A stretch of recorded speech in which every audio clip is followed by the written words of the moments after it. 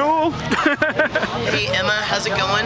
I'm Jaret. And I'm Erik. We're from the band Bowling for We just want to say hello. We understand that you actually sing Girl All the Bad Guys Want better than us.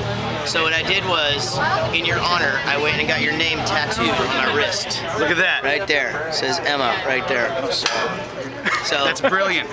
anyway. He's your biggest fan. biggest fan ever. Yep. So keep up the singing and come see us sometime soon. Watch Phineas and Ferb.